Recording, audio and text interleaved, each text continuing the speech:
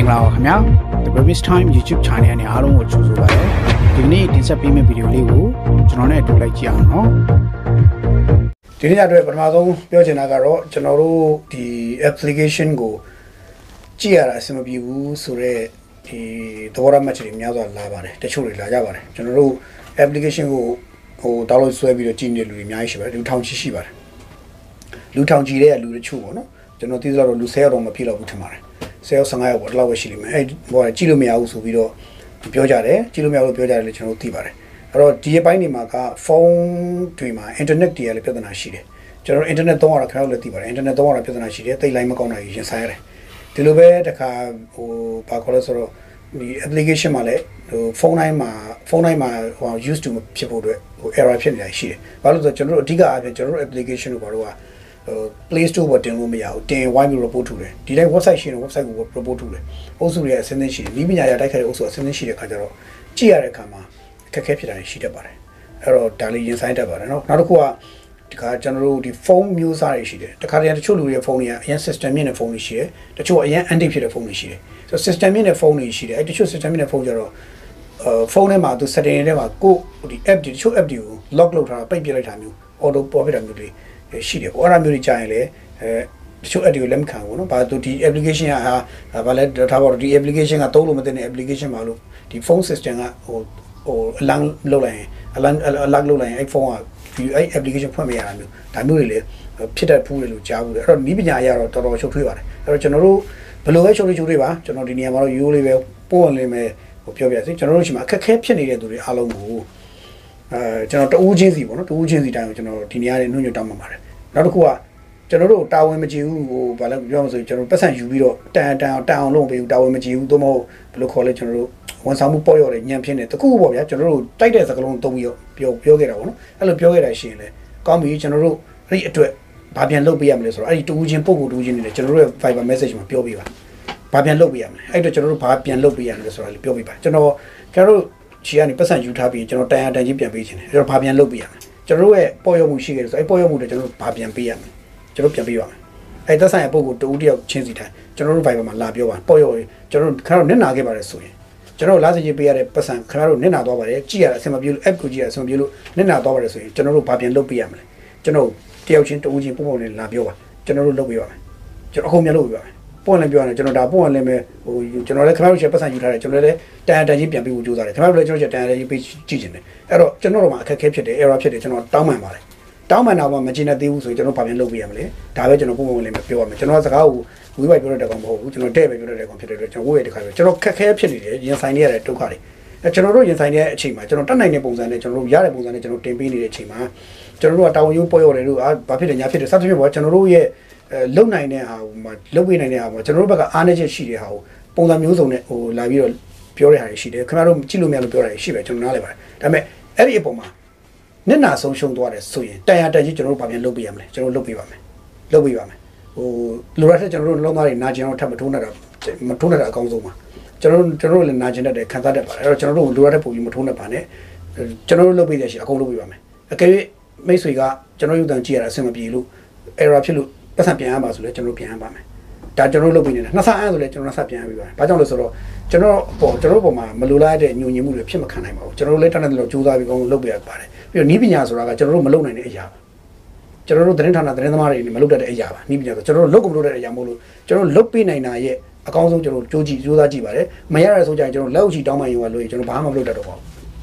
အဲ့တော့ရတဲ့နေရာဖြစ်တဲ့ Telegram ကိုကျွန်တော်တင်ပေးပါတယ်ညဘက်အခုဆိုရင်တင်ပေးတဲ့အတွက် တင်ပေးသွားတယ်တင်ပေးလိုက်တဲ့အတွက်တခါပတ်စံမပေးဘဲနဲ့ကြည့်တဲ့သူတွေတော့ကလည်းပတ်စံမပေးကြည့်တဲ့သူတွေတော့အဆင်ပြေသွားပြီးတော့ပတ်စံပေးရတဲ့လူတွေကြတော့ငါတို့ကပတ်စံမပေးရဘဲနဲ့ငါတို့ကကြတော့ပတ်စံပေးထားတယ်ကွာမပေးတဲ့ကောင်တွေကြတော့လည်းအလကားကြည့်ရတယ်ဘာထူးလဲငါတို့ပတ်စံပေးတာအလကားပါပဲလို့ခင်ဗျားတို့ခံစားပြီးတော့အဲ့လို feeling ဖြစ်တယ်ဆိုလဲကျွန်တော်အနေနဲ့ခံယူမဲရှိပါတယ်ကျွန်တော်ဘာမှမတတ်နိုင်ပါဘူးဘာကြောင့်ကျွန်တော်နီးပညာရဘာမှမတတ်နိုင်တဲ့အတွက်ခင်ဗျားတို့ကျွန်တော်တောင်းပန်ရုံကလို့ကျွန်တော်ဘာမှကိုမလုပ်တတ်တော့ဘူးတောင်းပန်တော့မှထပ်မချင်တဲ့လူအဲမချင်တဲ့ဘူးကွာငါတို့ပတ်စံပြန်ပေးပါကိုဆိုဆိုလဲတယောက်ချင်းစီကျွန်တော်ပိုင်မှာလာဆက်တယ်ကျွန်တော်ပြန်ပေးရမယ် ဘာလို့ဆိုကျွန်တော်တို့မတက်နိုင်တဲ့ကိစ္စကြီးမတက်နိုင်ဘူးပြောပြရစီဘာကျွန်တော်တို့မှမခံနိုင်တော့လားဆိုတော့ကျွန်တော်တို့နေ့စဉ်ဖြည့်ရှင်းနေရတဲ့ပြဿနာပေါင်းတော့6လုံးရှိပါတယ်အဲ့ဒီကတစ်ခုပါဆိုတော့ကျွန်တော်ထပ်ပြောပါမယ်ကျွန်တော်ထပ်တောင်းပန်ပါတယ်ကျွန်တော်တို့မှာခက်ခဲဖြစ်နေပါတယ်ဤပညာရေးကျွန်တော်တို့မနိုင်နိုင်ဖြစ်နေပါတယ်ကျွန်တော်တို့လုံးလို့မရတဲ့အများကြီးဖြစ်နေပါတယ်ကျွန်တော်တို့ social platform တွေတက်လို့မရဘူး YouTube Facebook ဘဲမှတက်လို့မရဘူးဟိုဟို Telegram တော့ရှိတက်လို့ရတယ် TikTok တက်လို့ရတယ်ဆိုပြီးဒါလည်းဟိုဘက်အုပ်စုကအကောင်းကောင်းတိုက်ခိုက်နေတဲ့ခါမှာကျွန်တော်ဘာမှလုပ်မရဘူးဖြစ်နေတာဒီလိုချိန်မျိုးမှာကျွန်တော်တို့ဟို တက်နေတယ်တီးခံပေးကြစေချင်ပါတယ်အဲတီးခံလို့မရတော့ဘူးကျွန်တော်တို့ဘက်ကလည်းလုံးဝလုပ်ပေးနေဆိုဖြစ်သွားတဲ့ခါကျရင်လည်းကျွန်တော်မှတောင်းပန်ရွယ်လို့တောင်းပန်တာတက်ပို့ပြီးတော့လုပ်ပေးလို့နေရှိရင်ကျွန်တော်လုပ်ပေးပါမယ်ဒါလေးပဲကျွန်တော်ထပ်ခါတခါပြောပြစီကျွန်တော်တော်တော်လေးစိတ်မကောင်းဖြစ်ပါတယ်ကျွန်တော်တို့အဲ့လိုလာပြောတဲ့အခါတော်တော်စိတ်မကောင်းဖြစ်ပါတယ်တယောက်ကပြောရင်အဲ့တယောက်တော့စိတ်မကောင်းပါဘူးနှစ်ယောက်ပြောရင်တယောက်တော့စိတ်မကောင်းဘူးဘယ်လိုစိတ်မကောင်းလဲဆိုခင်ဗျားတို့စိတ်ဆိုးတာမဟုတ်ဘူးကျွန်တော်တို့ကကျွန်တော်တို့မလုပ်ပေးနေတဲ့နေရာကြီးဖြစ်လို့ကျွန်တော်တို့မှလက်ပိုက်ကြည့်နေထိုင်ကြည့်နေမှလို့အပြောခံနေမှလို့ဟိုပြောရတော့ဗျာဟိုကျွန်တော်တို့လက်ဝဲကြိုးဝိုင်းနေလို့ပြောမယ်ဆိုတော့ကျွန်တော်တို့က တဲပြီးတဲပြီးတော့ထိုင်ပြီးထိုးတဲပြီးတဲပြီးအထိုးခံနေမှလို့ကျွန်တော်ဘာလို့လုပ်ပြီးလို့မရဘူးဖြစ်နေတာအဲ့လိုဖြစ်နေပါတယ်ကျွန်တော်တို့အဲ့ဒါလေးကိုတော့နားလေပေးကြဖို့တော့ထပ်ပြီးတော့ကျွန်တော်မြတ်တိုက်ရခံပါတယ်နော်ဟိုပြီးတော့လည်းကျွန်တော်တို့ Viber မှာကျွန်တော်တို့ရဲ့ဒီ Viber message မှာလာပြောတဲ့ခါကျရင်ခက်ခဲဖြစ်တဲ့အခါကျွန်တော်တို့လည်းရှင်းပြတတ်နိုင်တယ်ကျွန်တော်တို့ရှီရကလေးလေးရှင်းပြပါတယ်ဘလို့မှရှင်းပြရမယ့်အဆုံးမှာမကြည်နဲ့တော့တယ်အဆုံးဖြစ်လာခဲ့ရင်ခုနကကျွန်တော်ပြောတဲ့နီလန်းတစ်ခုကိုရွေးချယ်လိုက်ပါကျွန်တော်တို့လည်းမတတ်တာတဲ့အဆုံးကျွန်တော်တို့မှာဘာမှလုပ်စရာမရှိတော့တဲ့ဒီလိုပဲကျွန်တော်ပြောပြရစီနော်ဒါလေးတော့ ကျွန်တော်ပြောတာပါပြီးတော့အခါချင်းဝင်ပေးထားကြတဲ့သူတွေဒီနေ့ဒီလောလောဆယ် Telegram မှာကျွန်တော် free တင်နေရတာတွေပုံမှာစိတ်ညှို့ညင်မှုရှိရဆိုလေကျွန်တော်ဒီနေ့ကနေတောင်းပန်ပါတယ်မတတ်တဲ့အတွက်ကျွန်တော်ဒီလိုလုပ်ရတော့နောက်တစ်ချိန်မှာကျွန်တော်တယောက်မှအခါချင်းဝင်မပေးတော့ဘူးဆိုလဲကျွန်တော်ဇီဒီရောဆက်လုပ်နေရမှာပါလုံနေတော့ကျွန်တော်ဆက်လုပ်နေရမှာပါတယောက်မှမပေးတော့ဘူးဆိုရင်ကျွန်တော်ဆက်သွားရမှာပါဘာလို့ဆိုတော့ကျွန်တော်တို့ပြည်တွင်းမှာရှိတဲ့ channel တွေတော်တော်များရဲ့လုံနိုင်စွမ်းက limit ဖြစ်ပါတယ်ကန့်သက်ရှိပါတယ်ဘာလို့ဆိုတော့ကျွန်တော်ကနီးပညာမရှိဘူးလူအင်အားလုံလောက်လောက် ခင်တော့ထင်တော့လုပ်လို့မရဘူးပြပကဝါရဖြန့်ချီမီဒီယာတွေကတော့သူတို့မှာပတ်စံ budget အများကြီးသုံးနေပါတယ်ခင်ဗျားတို့လည်းသိပြီးသားပါပြီးခဲ့တဲ့ရက်ပိုင်းတော့ engine နိုင်နဲ့ပြည်တွင်းသတင်းတောက်ဟိုနေဇက်ကသတင်းတောက်တယောက်နဲ့ဖြစ်တဲ့ပြဿနာမျိုးဆိုရင်တရက်လောက်ကတော့ဒေါ်လာ300ဆိုတောင်းတယ်နောက်ဆုံးဒေါ်လာ100ပေးတယ်ဒေါ်လာ100ဆိုတာတရက်လောက်ကဒေါ်လာ100ဆိုတော့မြန်မာငွေနဲ့တော့တွက်ကြည့်ပါကျွန်တော်မြန်မာပြည်ကသတင်းတောက်တယောက်နဲ့ရှင်းလိုက်မယ်ဆိုရင်ခင်ဗျားတို့အများကြီးကွာသွားတယ်အဲ့ဒါဒီအဲ့ဒါတွေကစကျွန်တော်တို့မှာ machine တွေအများကြီးရှိပါတယ်အဲ့ machine တွေနဲ့ဂျားတွေကစူးစမ်းပြီးရှင်းနေရတဲ့အချိန်မှာကျွန်တော်တို့ရဲ့လုံနိုင်စွမ်းတွေအပေါ်မှာဟိုဟိုနားလည်မှုပေးဖို့ကျွန်တော်မြစ်တာရခံတာပါ နားလည်မှုပေးပဲမပေးဘဲနဲ့တမင်ရွချက်ရှိထိုးနေတာဆိုတော့လေကျွန်တော်ဗာတတ်နိုင်လို့ဗျာနော်သို့မဟုတ်ဟိုကိုလည်းကြည့်ကျင်စောနဲ့ထိုးနေတာဆိုရင်လည်းကျွန်တော်တို့စိတ်မကောင်းဖြစ်ရအောင်လို့ကျွန်တော်လည်းဘာမှလုပ်ပြရလို့မရဘူးဖြစ်နေပါတယ်နော်ဒါလေးတော့ကျွန်တော်တခါတစ်ထက်ကတက်ကတောင်းမှန်တာပါနော်အဲ့ဒါပါအဲ့တော့ကျွန်တော်ဒီနေ့သတင်းလေးစပြောကြမယ်ဆိုဒီနေ့ဟိုအာဆီယံရဲ့အဲ statement ပေါ့နော်အဲ့ဒါလေးနဲ့လည်းနည်းနည်းပြောပါပဲပြီးရင်တော့ဒီနေ့အရင်ပြောမယ်သတင်းကတော့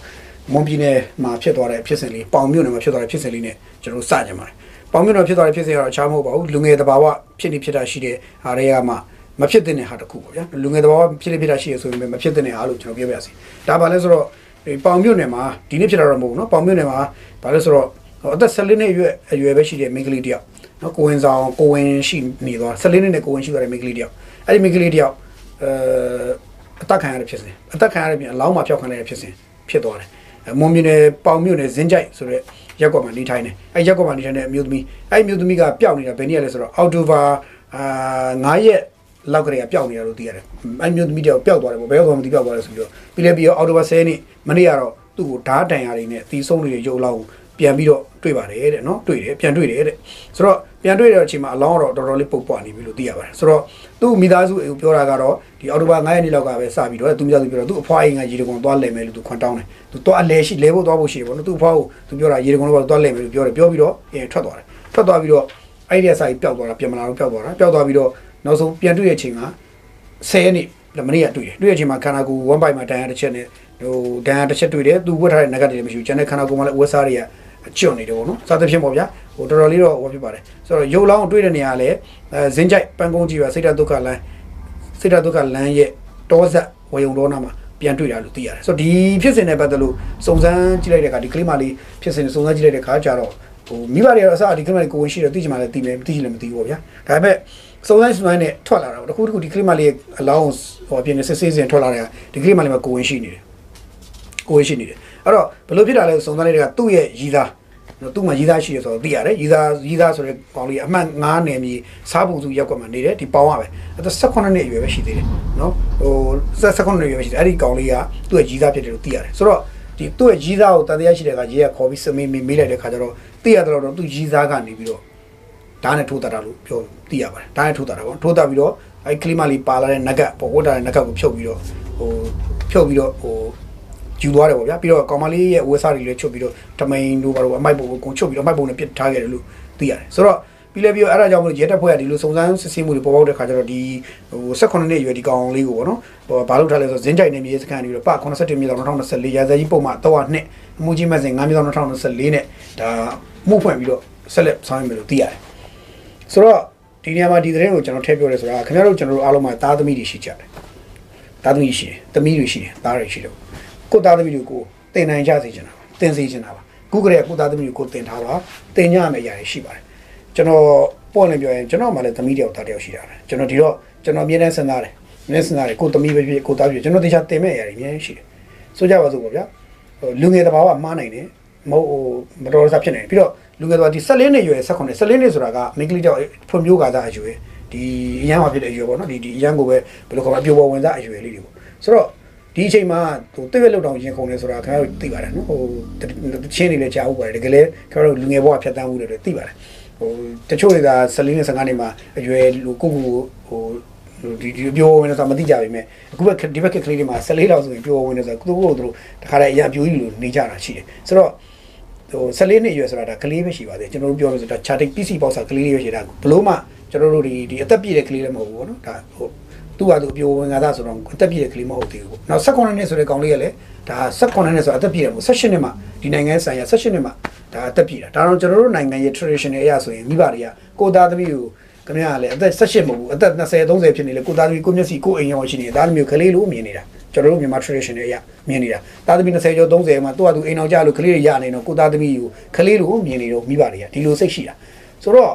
ဒီ18နှစ်အရွယ်ကလေးတယောက်နဲ့14နှစ်အရွယ်မိန်းကလေးတယောက်အကြလေးတော့သူကြိုက်ကြတယ် တွဲရတယ်ဒါကြိုက်ကြတယ်ပေါ့ကြိုက်ကြရင်လည်းလူငယ်တဘာဝချင်းတွေနဲ့ဒါဖြစ်မှာပေါ့ဗျာခြေလုံးနှလုံးဖြစ်မယ်ဒါကတော့လူတမိုင်းမှာလူရဲလို့ဖြစ်လာရင်မကင်းနိုင်တဲ့ຢာတွေတစ်ခုဆိုတော့ဖြစ်မှာပဲနော်ဖြစ်မှာပဲဖြစ်မှာပဲဆိုတော့ဖြစ်ရင်ဒီလိုဖြစ်လာခဲ့ရင်ကိုသားသမီးကိုမှားတော့မှာနံပါတ်1ကကိုသားသမီးမှားမှာက ဟိုတွေ့ကြရလူနဲ့ရှောက်ပြီးတော့ပောက်တက်ကြရရှောက်ကြိုက်မကြိုက်အောင်တတိထားရမယ်။ကျောင်းနေအရွယ်မှာကျောင်းတက်နေစဉ်ကာလမှာမမတဲ့အမားတွေမမအောင်ကိုတင်ယူတင်ကြားသုံးမှပေးရမယ်။ဒါမှမဟုတ်အဲ့ယူကြော်သွားလိုက်ခဲ့ရင်တော့ခုနဒီပါဆိုကိုသားသမီးဘတော်ရစဒီလိုမျိုးတစ်ခုကျိုးလွန်သွားခဲ့မိပြီဆိုရင်တော့အဲမိန်းကလေးဘက်ကလည်းမိဘတွေကတင်ရမှာက ဒါမိဘတွေကိုတေချာပုံဝင်လင်းဖွင့်ပြောတိုင်ပင်ပြီးတော့မလုပ်တဲ့နိုင်မလုပ်ဖို့တိုင်ပင်ရမယ်မဖြစ်တဲ့နိုင်ဆက်မမအောင်တိုင်ပင်ရမယ်တာသမီးသားရှင်တွေအနေနဲ့ယောက်ျားလေးရှင်ယောက်ျားလေးရဲ့မိဘတွေအနေနဲ့လည်းကိုသားသမီးကိုဒီလိုမျိုးမတော်တဆကလေးတစ်ခုကျူးလွန်သွားမိတယ်ရှိခဲ့ပြီဆိုရင်ဒီလိုမျိုးကိစ္စတွေမှာနှစ်ဖက်မိဘတွေတိုင်ပင်လို့ရအောင်ဆွေးနွေးလို့ရအောင်ညှိနှိုင်းကြဖို့လုပ်ရမယ်ဒါတွေကကျွန်တော်တို့ဟိုတင် जा ပေးရမယ်ရကိုသားသမီးဟိုတေပြောရင်တော့ဘာခေါ်လဲဆိုဟိုကိုသားသမီးတွေက ကိုသားသမီးတွေကဟိုလူရုံမာတွေမဖြစ်ဘူးပေါ့ကိုကလေးတွေကကိုကလေးတွေလူရုံမာတွေမဖြစ်ဘူးပြီးရင်ထိခိုက်နေတာဆုံးရှုံးသွားရင်ကိုကလေးပဲဆုံးရှုံးမှာအခုဒီ14နှစ်အရွယ်ကလေးရဲ့မိသားစုဝင်တွေကဘယ်လောက်ရှင်းနာမလဲရှင်းကျိုးမလဲကောကောင်မလေးရဲ့မိသားစုတွေဘယ်လောက်ရှင်းကျိုးမလဲရှင်းနာမလဲဒီ16နှစ်အရွယ်ကောင်လေးရဲ့တားမအေးတွေဖေးတွေရရောသူ့သားထောင်ထဲရောက်မဲ့အယူတူတူပြီးရှင်နေပုံပဲသူ့သားလောက်တာလုတ်ခဲ့ပြီမဲ့သူ့သားထောင်ထဲရောက်တဲ့အယူတွေ့ပြီးနေတဲ့မျက်ရည်နဲ့မျက်ခွက်ဖြစ်မှာပဲဟောဒါတွေကဖြစ်နေပါပဲအဲ့တော့ ဒါကြောင့်နှစ်ဖက်မှာရှိတဲ့ society မိသားစုတွေကိုကိုယ်သားသမီးကိုကိုတင်ကြပါကိုယ်သားသမီးကိုဆုံးမကြပါကိုယ်သားသမီးကိုတတ်တဲ့မြထိန်းချောင်းမှာဒီအမှားရင်းလမ်းကြောင်းပေါ်မှာတက်မြအောင်ထိန်းချောင်းပါဆိုအဲ့ဒါကိုပြောတာပါဒါကြောင့်ဒီကျွန်တော်ခဏခဏပြောကလေးတွေကိုဘာခေါ်လဲဆိုတော့နိုင်ငံရေးအယောင်သွေးနဲ့မကြည်ပြင်းလာစေသင့်ဘူးမလိုလားအပ်တဲ့အယောင်နဲ့မကြည်ပြင်းစေသင့်ဘူးပညာသင်ရမယ့်အရွယ်မှာပညာသင်အောင်တော့ဒီဒီသူ့အရွယ်လိုက်အရွယ်လိုက်သူဖြစ်ရမယ့်အရာတွေဖြစ်လာရင်ဘယ်နေအချိန်မှာဘယ်လိုအနေမျိုးဘယ်လိုကာကွယ်ပါဆိုတာမျိုးတွေကျွန်တော်တို့မိသားစုတွေ သင်ရလိမ့်မယ်လို့ကျွန်တော်နားလည်ထားတယ်။ဒါတော့ကျွန်တော်တို့အဲ့လိုပဲဟိုကိုကိုကိုမိဘကောင်းတွေသတ်မှတ်ထားရင်ကိုသားသမီးကိုလည်းတေချာသင်ကြဖို့တော့လိုတယ်ဒီကိစ္စတွေကဆင်ခြင်ရမယ့်အရာတွေပေါ့နော်။ဆိုတော့ဒီဖြစ်စဉ်မှာဒီကောင်လေးအနေနဲ့ကသူ့မှာစဉ်းစားဆင်ခြင်ပြရှိမှာမဟုတ်ဘူး18နှစ်အရွယ်ကလေးတယောက်။ तू ကလူငယ်တဘောရဲ့ချိတ်တွေ့အချိန်မှာတော့လက်လွန်ချေလွန်လုံးမိမယ်။လုံးတော့တော့လုံးတာပေါ့ဗျာ။ပြီးလည်းပြီးရောခေါင်းတော်မှကြီးတော့ပေါ့ဒီရွယ်နဲ့သူကလေးမိမယူရမယ်ဒီကလေးတောင်ပြမယ်သူတကယ်လည်းအစားကြိုက်ရှင်လည်းကြိုက်ရင်ကြိုက်ရှင်လည်းမကြိုက်ဘူးလူငယ်တော်ကဒါစိတ်လှုပ်ရှားလှုပ်တာလည်းကြိုက်တွဲတာလည်းဖြစ်နိုင်တယ် ဒါရှိတယ်။အဲ့တော့ယူရမယ်ဆို तू ခေါင်းတော်မှန်းကြီးပြီးတော့ဘလို့ရှင်းရမှမသိဘူး။ပြီးတော့ဒီကိစ္စမျိုးဘလို့အစကတည်းက तू ဘလို့ကတော့မသိတဲ့အခါကျတော့နောက်ဆုံးလုံးမိလို့ရရှောက်လို့ရင်းနဲ့ဒီကလေးမှတတ်တယ်လို့ကျွန်တော်တို့ကပြောလို့ရတယ်။အငင်းကြခုံကြမှာရှိမှသူတို့တနေ့ဘာဖြစ်အဲ့တော့တတ်ပြီလို့တိုက်ရုံနေမို့ဒီကောင်လေးကလူတိုက်ရုံနေမို့တော့ငကတ်ပါယူသွားတဲ့အတွက်ဒါကကြတော့တော်တော်ကိုစိုးရတဲ့ဖြစ်စဉ်ကျူးလွန်သွားပြီဆိုတော့ဒီကလေးရဲ့မိဘတွေအနေနဲ့ကဒီကလေးမိဘတွေအနေနဲ့ကဒီကလေးကိုတေချာမဆုံးမခဲ့တာလားမတင်ခဲ့တာလားဖြစ်လာပြီ ဆိုတော့ဒါမျိုးဖြစ်လာပြီးတော့မိဘရဲ့မိမဆုံးမဘာမဆုံးမဖြစ်ကုန်တာလားဆိုတဲ့စကားလုံးပေါ့ဗျာလူတွေပြောရတော့အဲ့လိုဖြစ်လို့မရဘူးလို့ကျွန်တော်နားလည်တယ်ဆိုတော့ဒီဟာမျိုးတွေကိုမဖြစ်အောင်လို့မြန်မာနိုင်ငံမှာမိသားစုတိုင်းမိသားစုတိုင်းရှိတယ်ဟိုအိမ်တော်စုပေါင်း17တန်းကျော်ရှိတယ်အိမ်တော်စုပေါင်း17တန်းကျော်ရှိတယ်အိမ်တော်စုပေါင်း17တန်းကျော်တိုင်းမှာကိုယ့်ရဲ့ယရနာလေးတွေရှိကြတယ်သားသမီးဆိုတော့အားလုံးကမိသားစုတိုင်းရဲ့ယရနာတွေပါကိုယ့်ယရနာလေးတွေကိုမဆုံးရှုံးအောင်လို့เนาะကျွန်တော်ယရနာဆိုတဲ့နေရာမှာပိုင်ဆိုင်တဲ့ငွေကြီးတွေကိုပြောနေတာအိမ်တွေအိုးတွေအိမ်တွေရွှေတွေငွေတွေကိုပြောချင်တာမဟုတ်ဘူးယရနာဆိုတာသားသမီးဆိုတာလေယရနာတစ်ပါးပဲအဲ့တော့ ကိုယ့်ယရနာလေးတွေမဆုံးရှုံးအောင်လို့ကိုယ့်မိဘတွေကိုယ်တိုင်ကကိုယ်ပဲအရင်ဆုံးစပြီးတော့တည်တည်ချာချာထိန်းချောင်းမှုလိုပါတယ်ဒီလိုစိုးကျိုးမျိုးတွေဒီလိုစိုးရတဲ့ဖြစ်ရမျိုးတွေမဖြစ်အောင်လို့ပေါ့နော်လောက်အောင်ပါပြီးတော့ဒီအခု16နှစ်ကလေးကအမှုရင်ဆိုင်မယ်16နှစ်ပြည့်သွားအမှုဖြစ်စဉ်တော့16နှစ်အသက်မပြည့်သေးတဲ့အတွက်သိကြတယ်ဒါကလေးကလေးတငယ်ဟိုလူငယ်ထိန်းသိမ်းတဲ့ကျောင်းကိုရောက်သွားတယ်ဒါမှမဟုတ်ဘယ်လိုဖြစ်မလဲမသိဘူးဒါအမှုကတော့ကျွန်တော်တို့ပြောခဲ့တယ်ဆိုတော့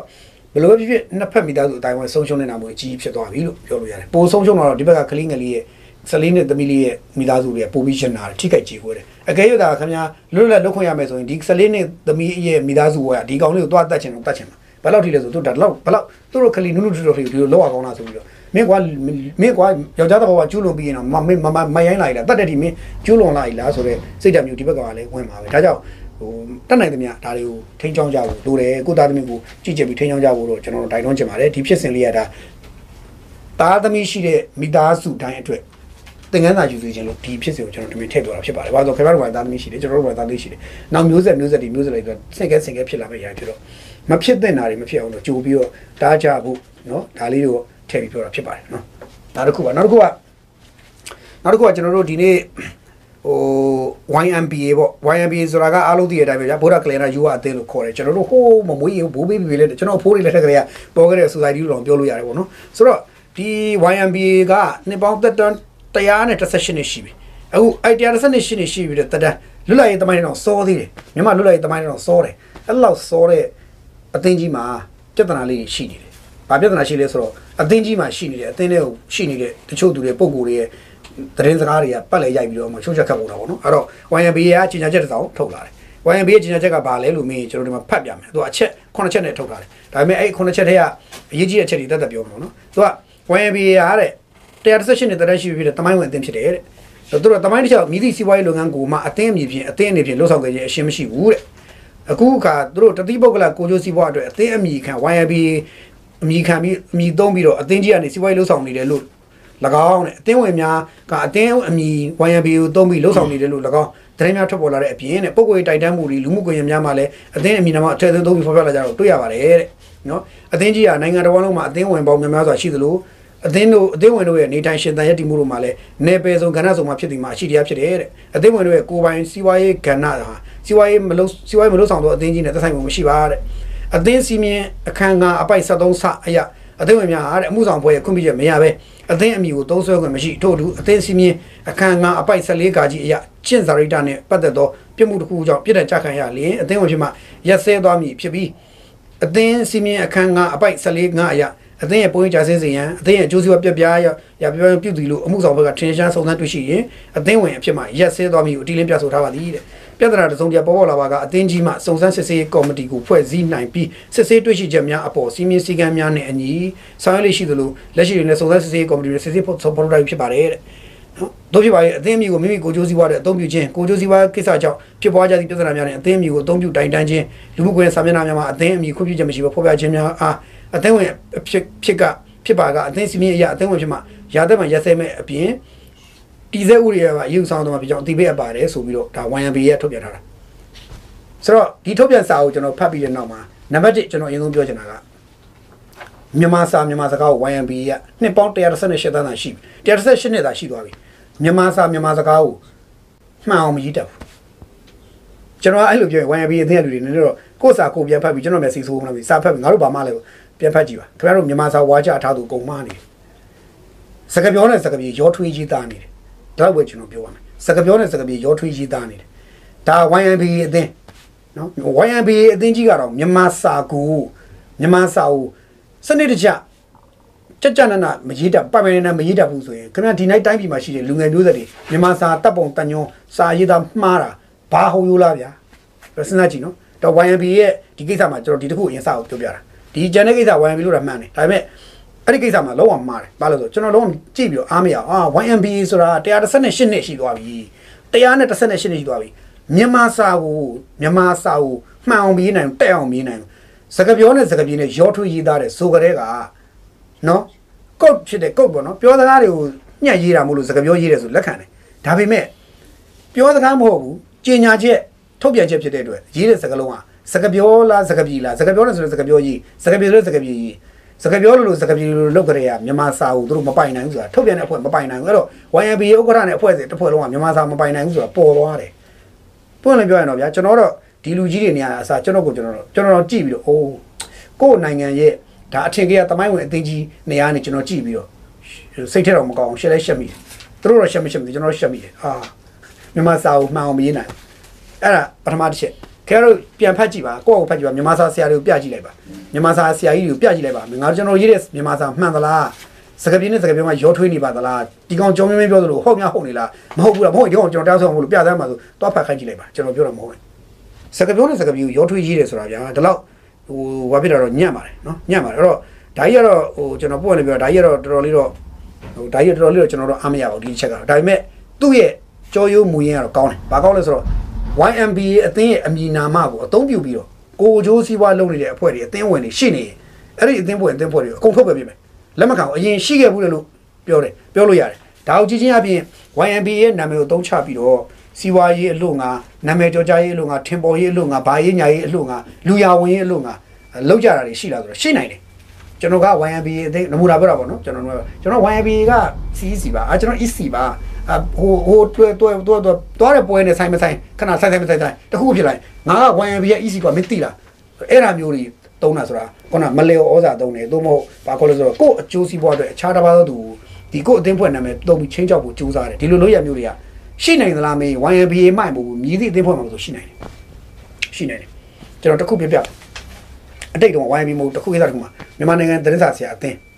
မြန်မာနိုင်ငံသတင်းစာဆရာအသင်း သတင်းစာအသင်းဒါပေမဲ့အဲ့မြန်မာနိုင်ငံသတင်းစာဆရာအသင်းကြီးကလည်းကျွန်တော်ဆရာဟိုဦးမြတ်ခိုင်ကိုယ်တိုင်ဥဆောင်ပါတယ်ဒါပေမဲ့ဆရာကထိုင်ကွာမထားဘူးထိုင်ကွာမထားတော့အခုကြည့်ဆက်ထိုင်နေတယ်ထိုင်ကွာမထားဘူးအသင်းကိုလည်းထိုင်ကွာလည်းမထားဘူးအသင်းကိုလည်းဟိုဆက်ပြီး level လာမ level လာမသိဘူးဒါထားတော့နော်ကျွန်တော်အဲ့ဒါပြောရင်ကျွန်တော်စိတ်ဆိုးတယ်စိတ်ဆိုးပြီးဝင်းကြီးရှင်မှာပေါ်တင်းကျွန်တော်တိုင်တယ်ကျွန်တော်ဆရာဖြစ်ပြီပဲကျွန်တော်တိုင်တယ်ဝင်းကြီးရှင်မှာအဲ့လိုတိုင်တာကျွန်တော်လည်းအံ့ဩလို့ဩငါဆရာငါဝင်းကြီးရှင်အောင်တိုင်နေဟာလို့ဘာများလဲလို့သူ့ကိုပေါက်လို့ပဲသာပြောလို့တဲ့ကဲထားပါတော့ဗျာကဲအဲ့တော့သူက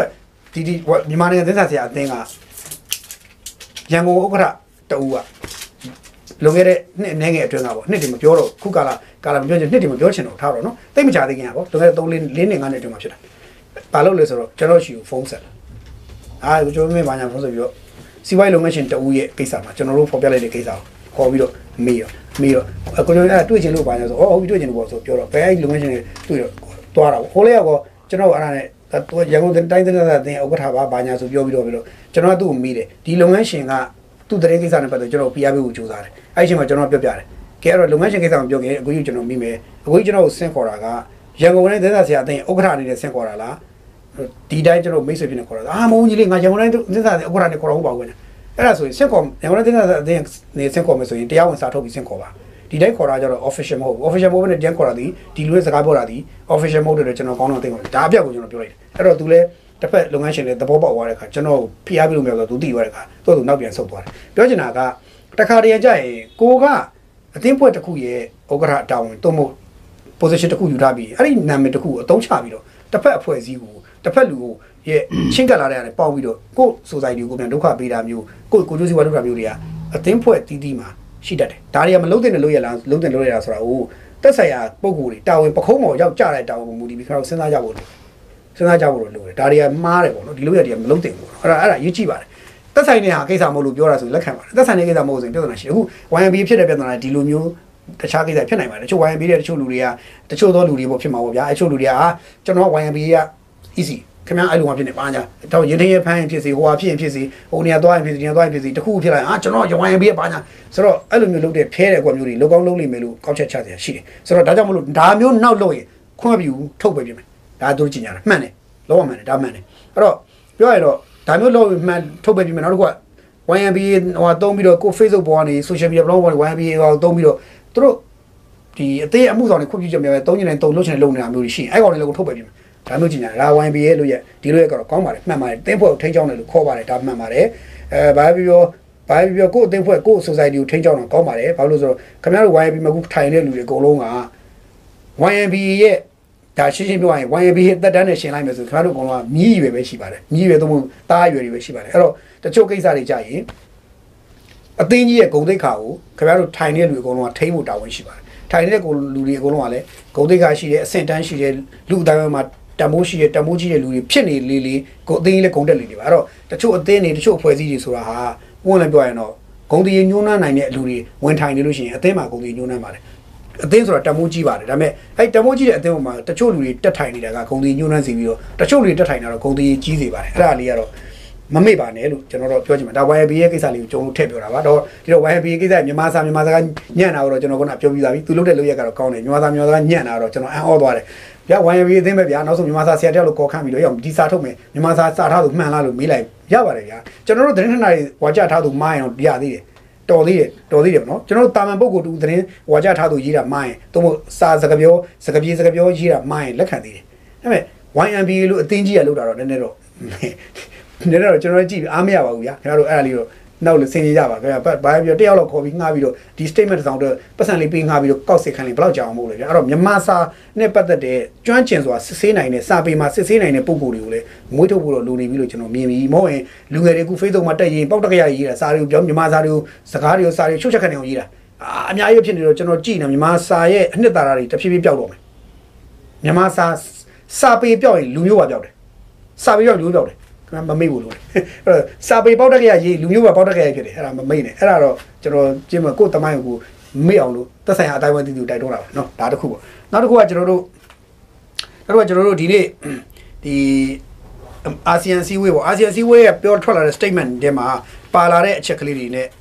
ထိုင်းရအစည်းဝေးပေါ့နော်အာဆီယံ statement မှာပါလာတဲ့အချက်တွေမှာလိုရင်းပွိုင်လေးတစ်ချက်ပြောရင်ရခိုင်ရခိုင်ရခိုင်ရခိုင်တော့မပါခဲ့ဘူးတဲ့အကြောင်းအရာတစ်ခုပါလာပါတယ်အဲ့ဒါပါလဲဆိုတော့ မြန်မာနိုင်ငံမှာဖြစ်ပေါ်ဖြစ်ပျက်နေတဲ့ဒီအကြမ်းဖက်တိုက်ခိုက်တပ်ဖြတ်မှုတွေနော်အရသာပြည်သူလူထုပေါ်မှာအကြမ်းဖက်တိုက်ခိုက်တပ်ဖြတ်မှုတွေတဲ့မှုတွေနဲ့ပတ်သက်ရင်တဲ့ရခိုင်တော့ကသူတို့ပြောတာကစစ်တပ်အနေနဲ့အကြမ်းဖက်တိုက်ခိုက်တပ်ဖြတ်မှုတွေရပ်ပါလို့သူတို့ကပြောတယ်ရခိုင်တော့ကပြောတာယခုဘာပြောလဲဆိုတော့ဒီအရသာပြည်သူလူထုပေါ်အကြမ်းဖက်တိုက်ခိုက်တပ်ဖြတ်မှုတွေကိုစစ်တပ်ရောဒီလက်နက်ကိုင်တော်လက်နက်ကိုင်တော်လန်နေသူတွေရောရပ်ကြပါလို့ပြောတယ်ဆိုတော့စကလုံးတစ်လုံးပူလာတယ်လက်နက်ကင်တော်လန်နေကြသူတွေလည်းမင်းတို့လည်းရလို့ပြောတာတဲ့ပြောရင်တော့ဟေးစစ်တပ်မင်းတို့လည်းရဟောလက်နက်ကင်ပုံကန်တဲ့ကောင်မင်းတို့လည်းရ အချမ်းမတက်ခိုက်တဲ့ဖို့လေမင်းတို့နှစ်ဖက်လုံးရလို့ပြောနေတဲ့အဓိပ္ပာယ်အဲ့ဒါဘာလဲဆိုတော့၃နှစ်ကျော်အတွင်းမှာပထမဆုံးချိန်ဒီလက်နက်ကင်တိုက်ခိုက်သူတွေဘက်ကိုလက်နက်ကင်ပုံကန်သူတွေဘက်ကိုမင်းတို့လည်းရပ်ပါလို့လက်ညှိုးစထိုးတာဖြစ်လာတယ်အဲ့ဒါဆိုရင်ဘာပဲပြောအာဆီယံကသဘောပေါက်လို့ဆိုတဲ့အဓိပ္ပာယ်ပဲအစကတည်းကသဘောပေါက်ပြီးသားဒါပေမဲ့ဒီစကလုံးက statement နဲ့မှာပါလာဖို့အထိပေါက်မြောက်သွားခဲ့ပြီဖြစ်တယ်လို့ပြောလို့ရတယ်။ဒါဆိုရင် NASA ကရဲ့တန်တမန်ရေးရကိစ္စဒီအားကောင်းလာတယ်လို့ပြောလို့ရတယ်။ဘာလို့ဆိုတော့နိုင်ငံတကာတိုင်းက NASA ကရဲ့ ဟိုဘက်ကိုကြည့်ပဲလက်ညှိုးထိုးနေတာမှားတယ်လို့လက်ခံလာတယ်။အရင်တော့ဟုတ်ဟုတ်မဟုတ်ထိုးမှာပဲလက်ညှိုးကဟုတ်ဟုတ်မဟုတ်ထိုးမှာအခုကျတော့ငါတို့ဟုတ်ဟုတ်မဟုတ်မထိုးတော့ဘူးဟုတ်လေထိုးမယ်မဟုတ်လည်းထိုးမယ်ဒါပေမဲ့အဲ့လိုပဲဟိုကောင်တွေလည်းငါလက်ညှိုးထိုးမယ်ဖြစ်လာပြီအဲ့ဒါရှင်းရှင်းပြောရင်တော့သဘောကတော့ NUG PDF နဲ့လက်နက်ကင်ထားသူစစ်တပ်မဟုတ်တပ်မတော်မဟုတ်တော့ NASA ကမဟုတ်တော့ဒီလက်နက်ကင်ထားသူတပုံအုပ်စုတွေရဲ့လက်နက်ကင်တပ်ဖြတ်အကြမ်းဖက်တပ်ဖြတ်မှုတွေကိုသူတို့သိတယ်သူတို့ကိုယ်တိုင်ထုတ်ပြန်ပြီးတော့တားမြစ်တာတွေလုပ်တယ်လို့အထိပ္ပယ်တက်ရောက်တယ်ဒါတိတ်ကောင်းတဲ့ အဲကိစ္စတစ်ခုစဖြစ်လာတယ်ပေါ့နော်အာဆီယံအတိုင်းဝိုင်းတွေပေါ့တစ်ချက်ပေါ့နော်နောက်တစ်ခုကနောက်တစ်ခုကဘာလဲဆိုတော့ဒီနိုင်ငံရေးဝန်ကြီးတွေတက်လာတဲ့နိုင်ငံရေးဝန်ကြီးတွေမျိုးစုံပြောကြတာပါဗျာပြောကြတော့အမေရိကန်ပြောမဲ့စကားကတော့ရှင်းပါတယ်အာစစ်အုပ်စုကိုထပ်ပြီးဖိအားပေးမယ်အာဖိအားပေးမယ်ဘယ်လိုဖိအားပေးမလဲဆိုတော့အာဒီဖန်ဆီးခံထားတဲ့နိုင်ငံရေးအကျဉ်းသားတွေလွှတ်ပေးဖို့လွှတ်ပေးမှာအဲ့ဒါမှလွှတ်ပေးပါမပေးဘူးဆိုတော့နိုင်ငံရေးရဖိအားပေးမှုလုပ်မယ်ဒီလိုမျိုးသူတို့ပြောတယ်အဲ့တော့ပြီးတော့ဟိုဘာခေါ်လဲဆိုတော့အရွေးကောက်ပွဲကတရားမျှတမှုရှိမဲ့ပုံမပေါ်ဘူးဘာဘူးညာစသဖြင့်ဒါတွေကိုမျိုးမျိုးဆိုပြောလိုက်ပြီပေါ့နော် ဆိုတော့မြေသောဝင်ပြောစီကမူရှင်းရှင်းပြောရရင်တော့တပ်မတော်အနေနဲ့ကနိုင်ငံရေးကျင်းသားတွေလွတ်ပေးလဲဖိအားပေးမှာပဲမလွတ်ပေးလဲဖိအားပေးမှာပဲအမေရိကန်အမေရိကန်မူကရှင်းတယ်မြန်မာနိုင်ငံကိုဘယ်တုန်းကမှဘယ်တုန်းကမှရှင်းရှင်းပြောရရင်တော့ဟိုဘယ်လိုခေါ်မလဲလက်တွဲခေါ်ဖို့ကြိုးစားတာမဟုတ်ဘူးသူကလက်ဟိုလက်သီးမုံထိုးပဲစဉ်းစားနေတာနော်လက်တွဲခေါ်ဖို့စဉ်းစားလက်သီးမုံထိုးပဲသူစဉ်းစားနေတာလက်သီးမုံကိုပြောင်းမှထိုးတော့အခုအရင်ကလက်သီးမုံထိုးတော့အခုပြောင်းမှထိုးတာအမေရိကန်ပြည်ရပြီးသားဆိုတော့အမေရိကန်ဒီတိုင်းပြောတယ်သူမလေးရှားကျတော့ မနေ့နဲ့ပြောင်းလာပြီမလေးရှားကျဘာပြောလာလဲမလေးရှားနဲ့ရိုင်းဝကြီးတို့ဘာလို့ကြာဘာပြောလာလဲဆိုတော့သူကဒီအခုအောက်တိုဘာလကုန်တာနဲ့သူကမလေးရှားအာဆီယံဥက္ကဋ္ဌနေရာကိုသူကစပြီးထမ်းဆောင်တယ်ဆိုတော့မလေးရှားကဘာပြောလဲဆိုတော့ပြရတယ်လေဆိုမြန်မာ NASA ကအစိုးရကဒီခုဒီလက်နက်ကင်မြန်မာ NASA အစိုးရကခုလက်ရှိအချိန်မှာအားလုံးကိုအားလုံးကိုလက်ကမ်းကြိုဆိုပြီးတော့လမ်းဖွင့်ပေးထားတာတကားဖွင့်ပေးတာတွေ့ရတယ်ဆွေးနွေးဝိုင်းဆွေးနွေးစကားဝိုင်းတွေတကားဖွင့်ပေးနေတာတွေ့ရတယ်ဒါဆိုရင် NASA ကနဲ့စကားပြောလို့ရမယ်အနေထားလမ်းကြောင်းပေါ်လာပြီငါတို့အဲ့လမ်းကြောင်းကိုရှောက်ဖို့တော့လိုအပ်လာပြီဆိုတဲ့သဘောမျိုးကိုမလေးရှားဘက်ကထူးထူးခြားခြားပြောလာတယ် ဒါမလေးရှားဘက်ကထူးထူးခြားပြောတာနော်ထူးခြားပြောနောက်တစ်ခါထိုင်းကတော့ဒီလာမယ့်ဒီဇင်ဘာမှာသူတို့ကိုယ်တိုင်ဥဆောင်ပြီးတော့ဒါဒီစီဝေးပဲကျင်းပခြင်းတယ်လို့သူကပြောတယ်ဒါဒါဒါမြန်မာနိုင်ငံရေးဆွေးနွေးပွဲကျင်းပခြင်းလို့ပြောတယ်မလေးရှားကလည်းသူတို့အာဆီယံဥက္ကဋ္ဌလက်ထက်မှာသူတို့အောင်မြင်ကျင်းပသွားမယ်လောက်အောင်ဖြစ်အောင်လုပ်မယ်အင်ဒိုနီးရှားကလည်းငါတို့လည်းပါခြင်းသေးတယ်သူတို့ဥက္ကဋ္ဌမဟုတ်တော့ဒါပေမဲ့ငါတို့လည်းပါခြင်းသေးတယ်ဆိုတော့ပြောရရင်ကအဲ့လိုဖြစ်နေတာပေါ့နော်အာဆီယံ statement ရဲ့ဒီမြန်မာနဲ့ပတ်သက်တဲ့ dialogue တစ်ကြောင်းထဲမှာသို့မဟုတ်တစ်ပိုက်ထဲမှာတော့ပြောနေတဲ့အကြောင်းအရာကခုနဒီ လက်နက်ကင်တပုံတွေရဲ့ဘက်ကလည်းလက်ညှိုးထိုးတာပါလာတာဖြစ်တဲ့အတွက်ဒါစိတ်ဝင်စားဖို့ကောင်းတဲ့အဲအာဆီယံရဲ့အစည်းအဝေးရဲ့အရွေလေးတစ်ခုလို့ကျွန်တော်အရင်ပြောချင်တယ်နောက်တစ်ချက်ကဘာလဲဆိုတော့ထိုင်းမှာကျင်းပမဲ့အစည်းအဝေးအာဆီယံအဲဒီဒီဘာခေါ်လဲအလွတ်သဘောစီဝေးသဘောမျိုးဗျာနော်အာထိုင်းမှာကျင်းပမယ်ဒီဇင်ဘာမှာကျင်းပမယ်ဆိုပြီးထိုင်းဘက်ကကန့်လန့်နေအဲ့ဒါကိုအာဆီယံနိုင်ငံတွေအကုန်လုံးကလက်ခံတယ်ဒီအစည်းအဝေးမှာထိုင်းကအဆိုတင်သွင်းလိုက်တယ်အဲ့ဒါကိုလက်ခံတယ်လက်ခံတဲ့အတွက်ဒီအစည်းအဝေးကိုတက်မဲ့လူတွေရှိလာမယ်အဲဘယ်သူတွေကိုဖိတ်မလဲဘယ်သူတွေတက်ခွင့်ရမလဲဘယ်သူတွေမတက်ဘူးလဲဆိုတာစောင့်ကြည့်ရမယ်ဘာလို့လဲဆိုတော့ ဘာလို့လဲဆိုတော့ဒီထိုင်းနိုင်ငံအနေနဲ့က तू ကအိမ်ကြီးချင်းကျွန်တော်တို့နေကနေဆက်နေဆက်စီးရအရှိကြီးရအရှိကြီးရ तू ကပို့လို့ပြောတရုတ်တကဲ့သို့ထိုင်းရလဲမြန်မာရဲ့နိုင်ငံရေးနဲ့ကိုတိုက်ရိုက်ဆက်ဆက်နေတယ်တရုတ်တကဲ့သို့တိုက်ရိုက်ဆက်ဆက်နေတယ်ဘာလို့လဲဆိုတော့ကျွန်တော်တို့မြန်မာပြည်ကနိုင်ငံရေးသမားတွေကစစ်တပ်ကတော့တော်လန်ပုံကုန်ရမယ်ဆိုရင်ထိုင်းနေဆက်ကိုပဲပြည်တာပြည်ရေးဆိုထိုင်းနေဆက်ပဲဆိုတော့ထိုင်းကခက်ဆက်ဆက်တစ်လျှောက်လုံးသူတို့ကမြန်မာနိုင်ငံရဲ့နိုင်ငံရေးသမားတွေကိုလိုကို လက်ခံပေးထားတဲ့နိုင်ငံဖြစ်ပြီးတော့မြန်မာနိုင်ငံပြေးလာသူမှမပြောသူလက်ခံပေးထားတဲ့နိုင်ငံဖြစ်လာတယ်။ကြာတော့ဒီကောင်နှစ်ပေါင်းကြာလာတဲ့ခါကျတော့ကြာလာရင်ထိုင်းတွေကထိုင်းတွေမှာထိုင်းနိုင်ငံရဲ့နိုင်ငံတွေမှာမြန်မာစာတွေအများကြီးပေါ်လာပြီ။ဆိုတော့နောက်ပိုင်းကျရင်တော့ကြာထိုင်းဘာသာစကားပြောက်ပြီးမြန်မာဘာသာစကားတွေပဲနှောင်းဖို့တော့ပါတော့သူတို့ကြောက်ရင်ကြောက်လာလိမ့်မယ်တစ်ချိန်ကျရင်။သူတို့ပြောမရဘူးခင်ဗျာ။အဲ့တော့ဟိုအနုနီးနဲ့သိမ့်ပိုက်တယ်လို့ပြောလို့ရဖြစ်နေ။အဲ့ထိုင်းနဲ့သူကြောက်လာဘူးရ။အဲ့တော့မြန်မာကိစ္စကနောက်ဆုံးနိုင်မြန်မာနိုင်ငံရေးသမားတွေကိုထိုင်းနိုင်ငံမှာအများအားလက်ခံလက်ခံလက်ခံပေးနေတာတွေကတစ်ချိန်ကျရင်ပြဿနာဖြစ်လာနေတယ်ဆိုတော့သူတို့ တွေးလာပုံလဲရတယ်ထင်ပါတယ်အဲ့တော့နှစ်ပေါင်းများစွာကြာရင်သူပြဿနာရှိနေလို့တွေးပုံရတယ်အစောပိုင်းကာလမှာတော့ဒီဘဝကနေအကျိုးမြတ်သူတို့ဖန်တီးခဲ့တယ်အကျိုးအကျိုးမြတ်ဖန်တီးခဲ့တယ်ဒီအခင်းချင်းကနေမြန်မာရဲ့နိုင်ငံရေးအခင်းချင်းကနေသူတို့အကျိုးမြတ်ဖန်တီးခဲ့တယ်အခုကျတော့အကျိုးမြတ်ကနေဆိုးကျိုးတွေဖြစ်လာတော့မယ်ဆိုပြီးတော့เนาะ advantage ကနေ disadvantage ဖြစ်သွားဘယ်နဲ့လုံးမလဲဆိုတာမျိုးပေါ့နော်ဆိုတော့အဲ့ဒါမျိုးသူတို့စဉ်းစားလာပုံရတယ်အဲ့တော့ဆွေးနွေးပွဲသူလုပ်မယ် မြန်မာနဲ့ပတ်သက်ပြီးဆွေးနွေးပွဲဆို तू ကတိုက်ရိုက်ဆွေးနွေးလို့ကောင်းတဲ့နိုင်ငံဖြစ်တယ်ဘာလို့လဲဆိုတော့ကိုယ်နဲ့အိန္ဒိချင်းခြံစည်းရုပ်ကပ်ပြီးတော့မြန်မာ NASA မြန်မာတက်မတော်နဲ့သူတို့နဲ့သိအရင်စိမ့်နေတာမဟုတ်ဘူးအဲ့ခါကျတော့သူတို့လက်ခံလို့ရနိုင်အဲ့မှာသူခေါ်ရင်တော့ဘယ်သူတွေခေါ်မလဲ NASA ကဆိုတော့သူဖိတ်လိမ့်မယ်တရုတ်ကိုဖိတ်မယ်အိန္ဒိယဖိတ်မယ်အာဆီယံနိုင်ငံတွေကိုသူဖိတ်လိမ့်မယ်နောက်တစ်ခါ NUG ရဲ့ကိုယ်စားလှယ်ကိုဖိတ်ကောင်းဖိတ်နိုင်တယ်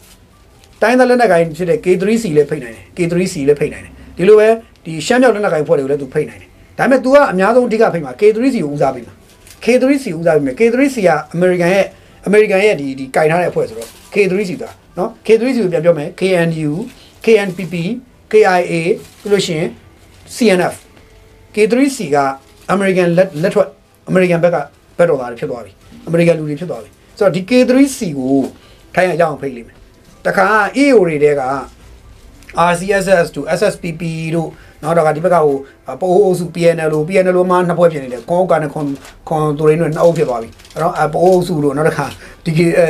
ဘယ်လဲဟို ABSD ရတို့ DGB ဘာစသဖြင့်အဲ့လိုမျိုးနောက်တစ်ခါဖွဲ့စည်းအများကြီးရှိမယ်အဲ့ဒီဖွဲ့စည်းတွေ 7A Alliance အုပ်စုတွေလည်းသူဖိတ်မယ်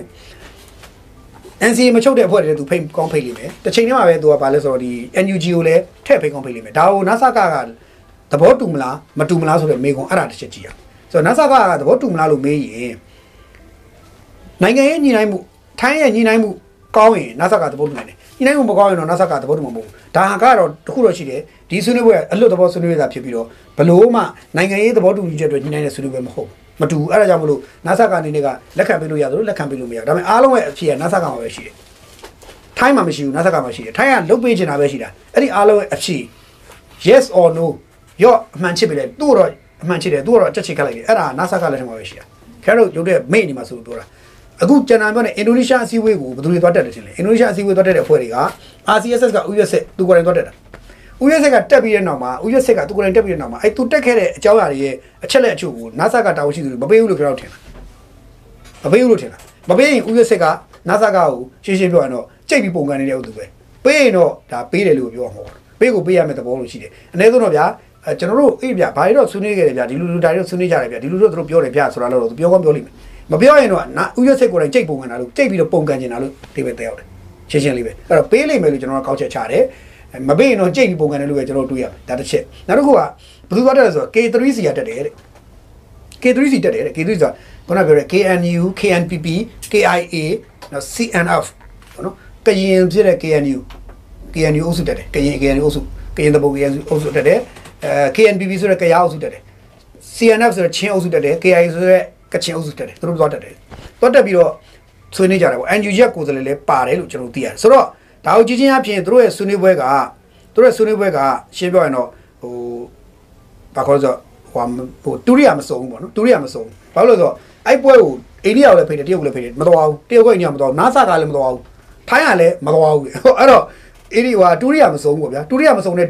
T1 ကဘယ်လိုလုပ်ပြီးတော့အတန်ဆုံးထွက်နိုင်မှာလဲအတန်ဆုံးထွက်နိုင်တဲ့အပြင်တူရိယာမစုံတော့ထွက်လာတဲ့တီးလုံးကလည်း တချမ်းပဲတွေပဲရှိမှာပေါ့ဗျာနော်အဲ့တော့တချမ်းပဲဟိုတချမ်းပဲ T1 မျိုးဆိုရင်တော့ဘယ်လိုဖြစ်ဖြစ်တချင်းဆိုရလူလည်းဆိုလို့ကီးမကြိုက်ဘူးအဲ့တော့ဘာပဲပြောနားထောင်ရတဲ့သူတို့လည်းကီးမကြိုက်ဘူးတချင်းဆိုရလူလည်းကီးမကြိုက်ဘူးလို့ကျွန်တော်တို့ပြောချင်တယ်အဲ့တော့ဒီထိုင်းဆွေးနွေးမဲ့ဆွေးနွေးပွဲကတော့အတန်ဆုံးဒီဝိုင်းဖြစ်မလားဆိုတော့စောင့်ကြည့်ရမယ်ကျွန်တော်ဒါစောင့်ကြည့်အဲ့တော့ထိုင်းကတော့တန်းစအကုန်ဖိတ်လိမ့်မယ်လို့ယူဆတယ်တစ်ချိန်တည်းမှာပဲအိန္ဒိယလည်းစီဝေးကနိုဝင်ဘာမှာရှိတယ်အိန္ဒိယစီဝေးနိုဝင်ဘာကလည်းတကြတယ်အဲ့မှာတော့ NUG မပါဘူး အဲအဲ့လိုပဲဒီတခြားလက်တကယ်ဖွဲ့တွေမပါဘူးသူပါမယ်အများဆုံးပါနိုင်ကြီးအရှိဆုံးအရာဒီအဲနိုင်ငံရေးသမားတွေအချို့ပါမယ် EAO အချို့ပါမယ်အဲခုနဒီအိန္ဒိယနေဇာနာကလက်နက်ကိုင်တွေဖွဲ့တဲ့ KIA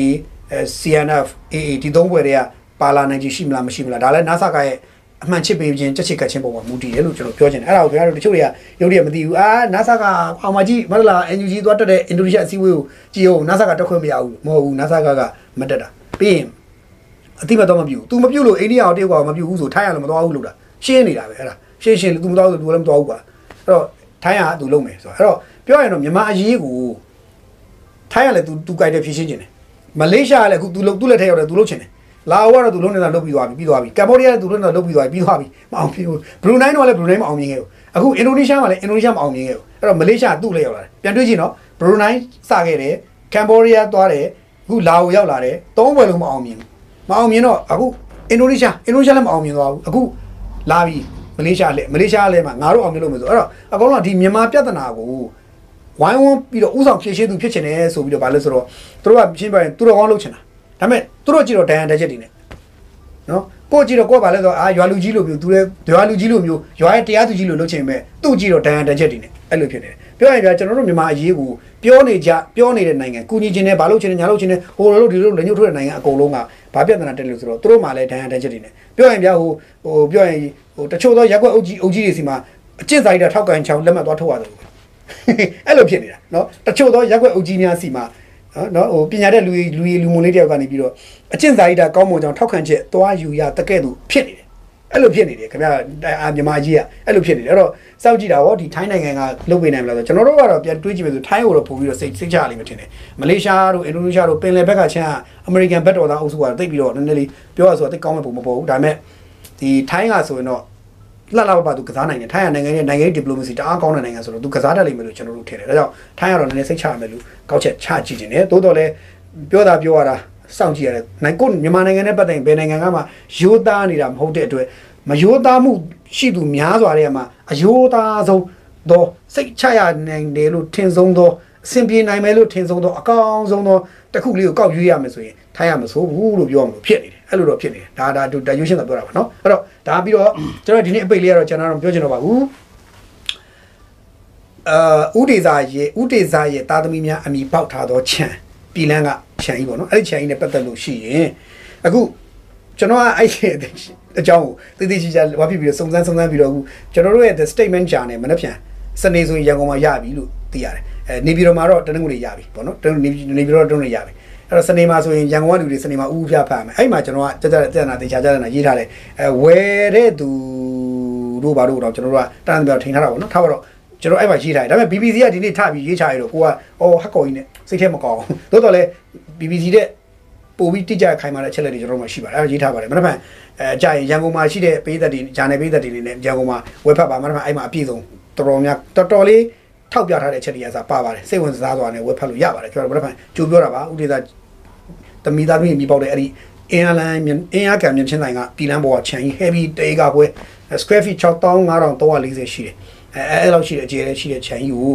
အခုဘယ်သူလက်ထက်ရောက်သွားလဲဘယ်သူဝယ်သွားလဲအဲ့လုပ်ငန်းစဉ်ကဘယ်အဆင့်ရောက်သွားပြီလဲဘာတွေဖြစ်နေပြီလဲဆိုတာကိုကျွန်တော်တို့သေချာလေးရေးထားပါတယ်ပြီးရင်ဝယ်တဲ့သူအနေနဲ့ဘာတွေဘာတွေကိုရင်ဆိုင်ရမယ်ဘာတွေလုပ်ရလိမ့်မယ်ဆိုတာအစားကျွန်တော်တို့လုပ်ထားပါတယ်ပြီးအဲ့ဒီ ဖြစ်စဉ်ကြီးရဲ့နောက်ွယ်မြုပ်နေတဲ့ဇလန်းတွေကိုတော့ကျွန်တော်တို့မဖော်ထုတ်တော့ပါဘူးဘာကြောင့်လဲဆိုတော့တိုင်းပြည်နဲ့ဆိုင်နေတယ်မဖော်တာကောင်းတယ်ဒါကြောင့်ပြောပါဘူးအဲ့တော့မဖော်ထုတ်တာကောင်းတချို့ကိစ္စတွေမဖော်တာကောင်းတယ်တိတိလေးပဲပြောတာကောင်းတယ်ဒီဒီဒီချန်ကိစ္စအကြောင်းပဲပြောမှာကျွန်တော်ပြောဘူးပေါ့နော်စပါတော့အဲ့ဒါလေးရေးထားတာရှိပါတယ်မနေ့ကကြာရင်တော့အဲဒီဒီ the statement the statement ကြာနေမှာမနေ့ကရန်ကုန်ကလူတွေဖတ်လို့ရပါပြီနေပြည်တော်ကလူတွေအနေနဲ့ကတော့တပတ်ခါမနေ့ကြာရင်ဖတ်လို့ရပါပြီအဲ့တော့တခြားနေရလူတွေတော့တနင်္လာနေ့ဆိုရင်ဖတ်လို့ရပါပြီအဲ့တော့စိတ်တော့ဟောချူပေါ့နော်ဒါ BBC ကအခုထရေးလိုက်တယ်တန်း30နဲ့ဆိုတော့ အာကွာလို့ဆိုတော့ဥဒိတာရဲ့တာသမီးများအမိဖောက်တော့တော့ခြံဒါပေမဲ့သူကဥဒိတာခြံလို့တော့တုံးတယ်အခုဥဒိတာထတရားဆိုရင်ခံအောင်မယ်ဘာလို့ဥဒိတာခြံလို့တော့ဟဲ့ငါခြံပုံငါသားသမီးပြောတာမင်းငါ့ကိုနာမည်ဖြတ်တာပဲဆိုပြီးတော့ကောက်ရေးအဲ့ဒါကောက်တရားဆိုရင်ခံအောင်မယ်စကလုံးတွေရှိတယ်စကလုံးမှာဥပဒေအရာပြောမယ်ဆိုရင်ဥတေဇခြံလို့တုံးရင်ဥတေဇအမိပေါက်နေမှရမှာဥတေဇခြံဆိုရင်ဥတေဇအမိပေါက်မှရမှာဥဒေဇရဲ့တာသမီများအမိပေါက်သောချမ်းလို့သုံးမှသာလျှင်ဥပဒေရမှန်တာ အဲ့ဒါဟိုကဥဒေဇအဲ့တလုံးနဲ့ကောက်ဆွဲရင် BBC ကနေထိုင်နေဂုံတိတ်ကကြာစင်းစင်မှုဂုံတိညွှန်းနှံအောင်လုပ်တယ်ဆိုပြီးတော့တရားဆွဲရင်ခံအောင်မယ်ဒါရှင်းရှင်းလေးပြောရင်ခံအောင်ပါတော့တကယ်အမိပေါက်နေတာဥဒေဇရဲ့တာသမီအမိပေါက်နေတာအဲ့ဒါ BBC သတင်းတော်တချို့တွေကတခါကြရင်ဟိုရေးတာရေးတာဗျဘလို့ဒီကောင်လေးဘာဘာကောင်လေးတော့ကျွန်တော်မသိဘူးတကယ်သတင်းရေးရမယ်ဥဟွာမှာကအမိပေါက်တာဘာတူလဲဥဒေဇရဲ့တာကိုပြဖို့ဒေဇထူးတဲ့ဒေဇနောက်ထူးဒါပါတော့စသဖြင့်ပေါ့နော် plus ပေါ့နော်၃ယောက်တာသမီတာသမီ၃ယောက်ဒီ၃ယောက်နာမည်နဲ့ပေါက်တာရင်